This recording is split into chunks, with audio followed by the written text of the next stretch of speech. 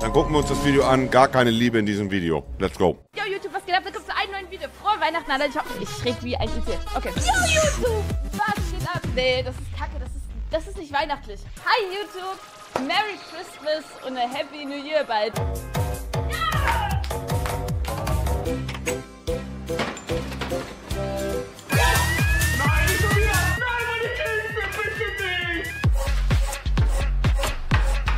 Och, Digga, Weihnachten vorbei. Denn Weihnachten ist doch ein Fest der Liebe und der Familie. Nichts ist Richtig. wichtiger, als in diesen Tagen Ruhe zu finden.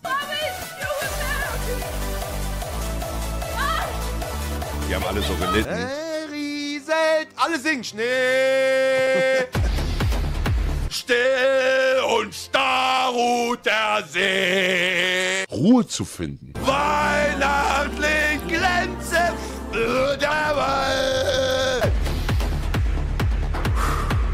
Schneemann war zu Besuch. Ich pack mal meine Hand in den Sack rein. es gibt ein Kaufhaus, das mich nicht verlieren möchte. es ist wirklich das ist. Was läuft, was läuft? Willkommen zum nächsten Video. Ich hab nichts Nein, bekommen. nein, ich wollte ehrlich von dir wissen, Max Schradin. Was schätzt du, wie alt er ist? So jung ist er nimmer.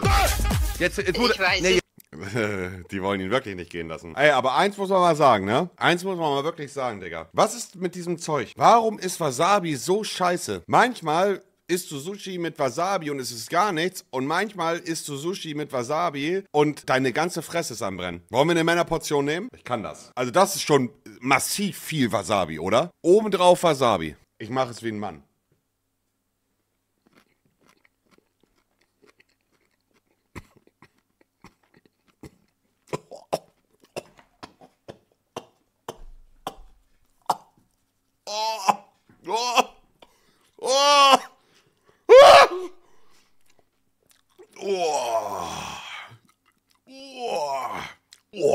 Alter, dieses Zeug ist so hinterlistig, biestig, Alter. Jetzt geht's sofort wieder. Wie kann das sein, dass diese Schärfe über die Zunge sofort, ihr kennt das, in die Nasenspitze reinzieht? Das geht immer so in die Nase rein. Das ist doch nicht normal. Da- Das in der Nase, das kribbelt so übertrieben, Digga. So, weiter geht's. Jetzt kommt, jetzt wird's wirklich schwer. Über 50 oder unter 50? Lass es, Jens Richard, lass Über es. 50. Alles klar. Tschüss, Mutter. Das ist Ehrlichkeit.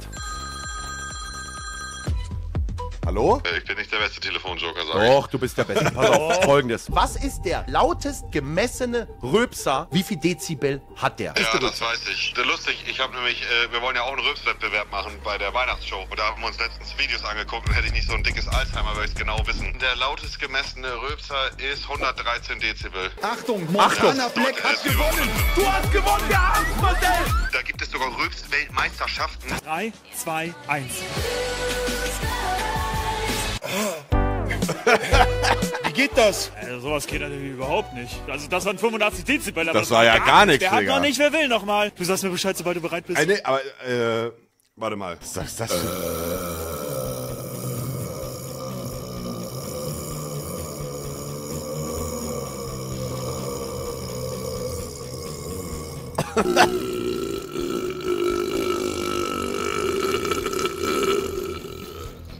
Also ich sag ehrlich, Digga, die wollen Champion sein, das kann ich viel besser. Das ist doch kein, das ist doch kein Championship, Digga. Das kann ich jetzt aus dem Stand besser. Mach, ich habe nicht das passende Getränk dabei. Okay, Guinness Buch der Rekorde, jetzt will ich's wissen. Bro.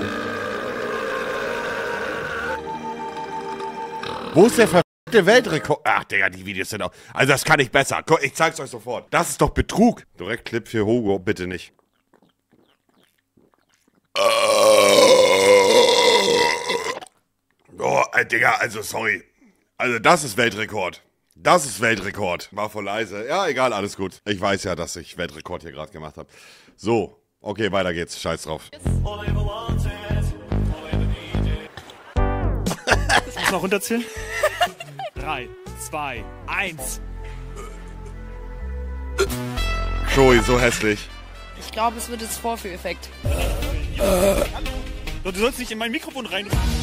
Was machst du denn hier überhaupt? Kommst du mir rülpst nicht an? Was willst du? Ich würde erstmal zu Michael Jackson gehen. Den haben Findest du es gut, wenn Frauen rülpsen? Also ich bin offen und ehrlich zu dir. Wenn du an dem Punkt bist mit deiner Frau oder mit deiner Freundin, dass ihr voreinander rülpst, dann ist deutlich entspannter, als wenn, wenn man das nicht macht. Also ich finde, es ist völlig normal. In den äh, weiblichen Mund kommt nicht nur viel doofes Gesabbel raus und gelegentlich auch mal dein, sondern da kommt auch mal ein Bäuerchen raus. Wir nämlich da vorne. Ein Moonwalk könnte durchaus anstehen. Oder? Heftiger Look. In den Amar Jackson. Ladies and gentlemen, this is Mambo number five. A little bit of Erica by my side. Wow. Also wirklich, das ist schon, ge- äh, also äh, nicht jetzt, äh, aber es ist schon ein gewagtes Outfit, oder? Ja, du hast noch deine Blitze einfach, ne? Du weißt schon, dass das illegal ist, oder? Ich habe Angst, dass hier drinnen geblitzt wird. Auf der Straße habe ich das Ding nicht an, das ist nur hier drinnen. Man weiß ja nie, wo die Schweinepriester überall blitzen. Jeder spielt Fortnite, oder? Also so, so gefühlt, jeder hat schon mal. Nee. Ich habe noch nie Fortnite. Der war gut. Ich höre, ich, höre, ich habe noch nie Fortnite gespielt. Unvor unvorstellbar, gell? Ich hab schon mal auch nicht gespielt. Tut uns leid. Okay, krass, tut uns leid. Ich höre.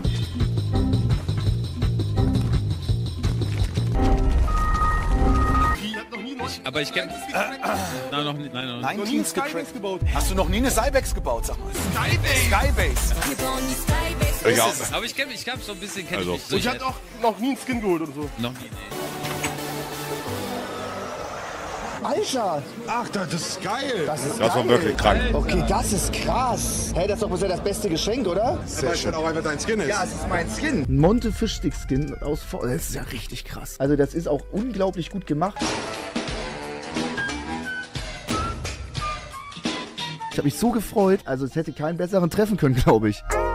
Ja, das war von Wähler, ja. Und ich muss wirklich sagen, ich habe auch mit Ronny Berger telefoniert, nochmal persönlich. Ich, ich glaube, das war auch bei, äh, er hat auch gestreamt. Natürlich ist Wichteln, ne, das muss man dazu auch nochmal sagen, Wichteln ist natürlich auch einfach Geschenke, die so Spaßgeschenke sind. Versteht ihr, wie ich meine? Also, wenn Revi dann eine Pimmelkerze verschenkt, ist es auch vollkommen legitim. Und ich finde auch, ich muss ihn auch ins Schutz nehmen, auch wenn ein Mert Sucuk verschenkt, dann ist es für mich auch noch tragbar, weil Wichteln Wichteln, könnt ihr gerne nachgucken. Wichteln und auch gerade wie wir Wichteln eigentlich angekündigt haben, war auf Scherz, auf lustig, bisschen, was zum Lachen. Das Einzige, was ich nicht in Ordnung fand, muss ich wirklich sagen, ein Geschenk in, und das habe ich auch zu Ronny gesagt am Telefon und damit ist das Ding auch dann für mich gegessen, ein Geschenk in Küchenrolle einzupacken. Wenn du, wenn du Yum-Yum-Nudeln verschenken willst und eine Banane auf lustig, muss es nicht jemand nachvollziehen, aber dir zumindest ein oder zwei Minuten Zeit zu nehmen, das Geschenk einzupacken oder irgendwo eine Tragetüte oder whatever, versteht ihr? Das ist eigentlich nur das, was an dem Geschenk wirklich äh, äh, respektlos war. Weil beim Geschenke auspacken geht es ja auch, wie es ja schon heißt, um Geschenke auspacken.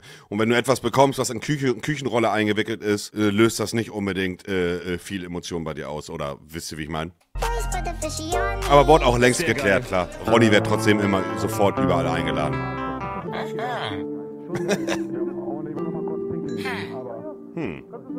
Ich möchte ihn ja noch einfach nochmal vorstellen. Den einzig wahren. Die Leute fragen sich, wer ist das? Den kenne ich gar nicht. Stell dich einmal vor, für die Leute, die nicht wissen, wer du bist. Ja. Bro, er hat, er hat so viele Komplimente bekommen, dass er unfassbar Mashallah aussieht. Maro Scherzigold hast mich gerade Beleidigt oder? Das ist richtiger Kevin, der Inhaber und Freund und ja, Familie von Onkel Monte. Hier nochmal ein paar Zahlen von dem Event. Die maximale Zuschaueranzahl war 208 oder 208 äh, 2 200 200 und 8000. Was Menschen. ist denn da los, Alter? Sind die Bingo-Zahlen im Altenheim durchgesagt worden und er kriegt es nicht mehr auf die Kette? Ist das geisteskrank? Habe ich mir Maul nur. Sekunden angeguckt, wie der Mann eine Zahl ausspricht? 200.000.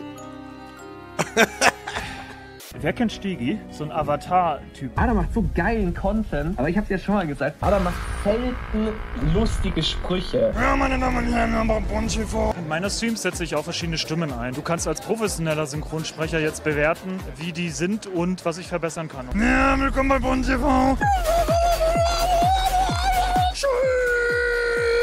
Adam ist nicht so krank lustig. Adam sagt halt, Hoya, can I get a Hoya? Ich bin wortgewandt und lustig und ich rappe ein Gedicht. Stegi, du dagegen sitzt zu Hause und zeigst nie dein Gesicht. Mein Name ist Adam und ich bin mit euch in der Welt unterwegs. Oh, mein Fernweh. Ah, so krass, man trennt das erst. Boah, man muss aber, aber richtig pressen, ne? Einmal nur ganz kurz für euch. Also wir müssen eine Sache mal kurz festhalten, okay? Ihr müsst nicht alle die Streams von Adam fühlen oder Adam als Charakter, okay? Das ist ja vollkommen euch auch überlassen und vollkommen fein auch. Aber ich will euch eine Sache sagen, Digga. Adam ist der größte Win für uns alle in den letzten zwei Jahren, Digga. Adam hat mit seiner Technik und mit seinem Equipment etwas äh, möglich gemacht, was für uns alle unfassbar viel Unterhaltung und äh, eine riesige Bereicherung für die gesamte Szene in Deutschland ist. Ohne Adam würden extrem viele Streams, Projekte gar nicht so stattfinden, denn Adam ist immer noch eine er ist immer noch verdammt teuer. ne? Also Adam, nicht die Preise erhöhen, sondern runter machen bitte. Adam ist immer noch im Verhältnis, kostet er viel Geld. Aber wenn, wenn es einen Adam nicht geben würde, würde man das mit anderen Produktionsfirmen machen wollen, eventuell. Und die verlangen gleich das Fünffache gefühlt. Versteht ihr, wie ich meine?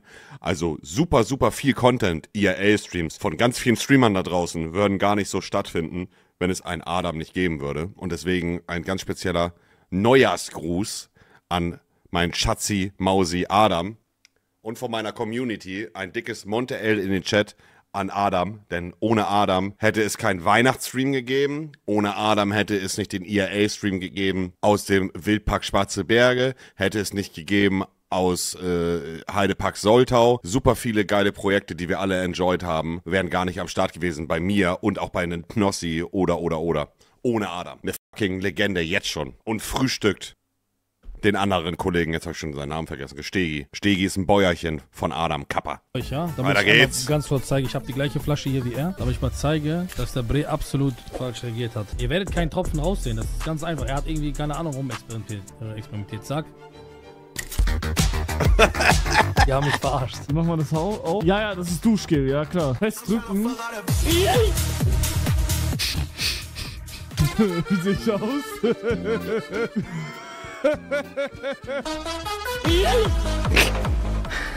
Einer schreibt, verstehe die Flasche komplett. Das, das, das ist krank. Das ist wieder, das geht Respektlos. zu. Die Leute kommen auf Sachen, das ist respektlos. Hallo, Phoebe ist immer noch 17. Was soll das? Das ist krass. Auf Muskeln bei Männern? Wenn ja, welche? Kennst du den großen Muskel in der Hose?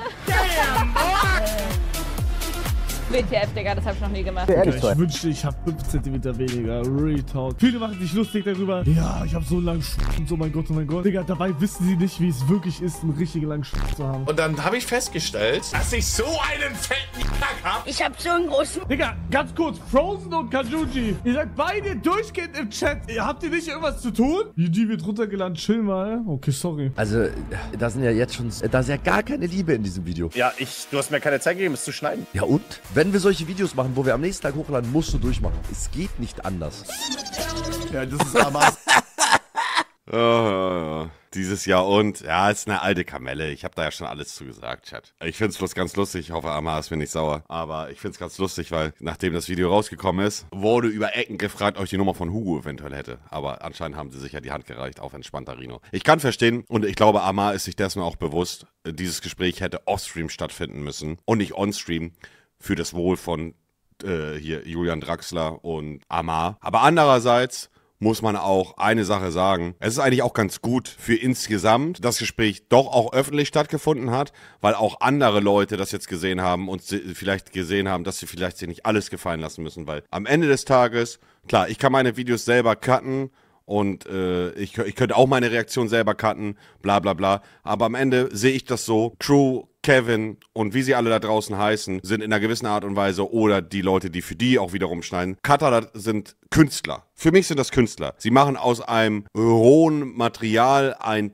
ein Diamanten. Versteht ihr, wie ich meine? Ein, ein, ein Diamanten für mich. So, so sehe ich das. Weil dieser Diamant, den sie für mich aus dem Rohmaterial machen, verdient in den nächsten Wochen für mich massig Geld. Und deswegen muss man äh, Cutter und Leute, die einem auch im Leben weiterhelfen, appreciaten. Ich habe auch viele Reaktionen gesehen, so mit Crew Kevin, äh, ja, warum stellt Monte nicht einfach einen Cutter ein und so. Aber ich sage euch ganz offen und ehrlich, mein Magen ist voll, versteht ihr? Mir geht es gut. Ich verdiene gutes Geld. Warum soll ich jetzt für, äh, für mehr Geld Leuten äh, etwas wegnehmen, die mich auf dem Weg, wo ich jetzt bin, viel oder einiges beizugetragen zu haben, wisst ihr? Klar kann man über Prozente verhandeln, das ist kein Problem, aber jemand komplett sein Hack wegzunehmen, bin ich kein Freund von. Cutter, Bro, in der Nacht. Amars Cutter, wenn der Vlog morgen rauskommen muss. Ja, holy. Musst du durchmachen, musst du durchmachen, musst du durchmachen, musst du durchmachen, musst du durchmachen. Den, den ihr da gerade tanzen seht, der schreibt mir immer, jo, Video kommt zwei Wochen zu spät. gestern Twitter-Clip gesehen. Ich wusste, das ist, Digga, von... Aber eine Sache möchte ich auch noch mal ganz kurz sagen. Eine Sache möchte ich trotzdem auch noch mal sagen. Du hast doch äh, deinen Cutter Leon nicht... Äh, du hast doch einen Cutter oder gibst Leon nicht mehr? Doch, Leon ist bei mir fest angestellt seit mittlerweile 2017 ungefähr. Seit fünf oder sechs Jahren ist Leon bei mir ein, fest angestellt. Und da gab es auch Monate, wo er zwei, drei Monate gar nichts zu tun hatte, weil ich gar keinen Gaming-Content hochgeladen habe. Leon wird immer äh, an meiner Seite sein, solange ich äh, äh, gutes Geld verdienen und Videos schneiden lassen muss. Leon hat viele Sachen für mich gemacht. Leon ist Ehrenbruder. Eine Sache müssen die Leute trotzdem aber realisieren. Respekt ist keine Einbahnstraße. Versteht ihr, wie ich meine? Respekt beruht, beruht auf Gegenseitigkeit. Das heißt, ich erwarte Respekt von den Leuten, die für mich arbeiten und ich muss auch Respekt den Leuten geben, die für mich arbeiten. Aber natürlich, und das kann auch nicht jeder, muss man realisieren, dass ich am Ende des Tages immer noch der Chef bin. Das hört sich jetzt doof an, aber das ist so.